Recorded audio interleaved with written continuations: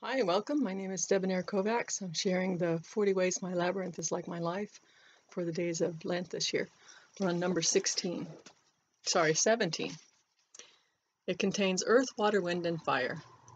This might be my favorite thing about my labyrinth. A few years ago, I did a long-term study of how these four elements are mentioned or developed in the Bible. It turned out to be quite fascinating. One of these days I'll write a book about what I learned the insight that seemed the most interesting and useful to me is that everything really is made out of these four things, even if not quite the way the ancients imagined. If you go from the bottom up, so to speak, you have the earth with all its soil and rock, with water flowing under and over it, raining down on it, and evaporating from it.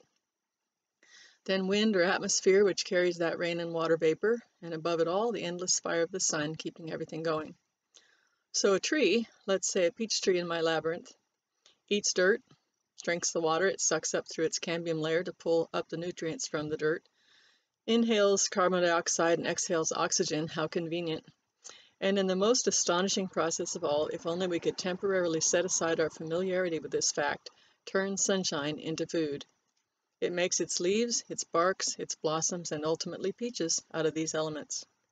I eat the peach and voila, I too am made of earth, about a dollar's worth of minerals by latest estimates. Actually, it's probably come up with uh, inflation. Water, 70 or 80%, depending on whom you ask, and maybe on how much water I drank that day. Wind, not only the air I breathe and use for speaking and singing, but oxygen, hydrogen, etc. in my tissues. And fire, 98.6 degrees of it on a cool day, on a good day. I could, well, I couldn't, but someone could, go into the physics of relativity from here. I don't even know if that phrase makes physical sense and point out that all things can be turned back into pure energy, fire, so to speak, if only we knew how. Heraclitus, circa 535 to 475 BCE, said that too, by the way. Makes you wonder, doesn't it, what the ancients actually knew? There have always been those who believed these elements were the actual makers of life. Some worshipped them as gods. Some today use them as excuses to not worship any god at all. I believe these elements were created and put together in their fascinating and infinite combinations by a personal creator called in English God. A better name might be the nameless one of many names.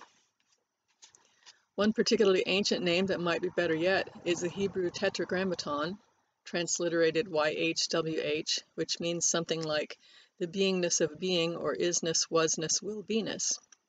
Those translations are borrowed from Rabbi Marcia Prager of the Jewish Renewal Movement and she's on YouTube too, and I highly recommend you look her up.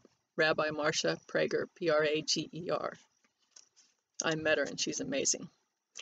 That creator, that holy gracious one, is in my labyrinth too. That giving, constantly making one, going from the top down, can be seen in the purifying power of fire, inspired, literally breathed in, inspired, in the invisible motion and fullness of the wind experienced in the cleansing, birthing, flowing nature of water, and felt in the earthly clay of our bodies made in the image of the One. That One is everywhere, all the time, with you now, with me now. Yes. See you next time.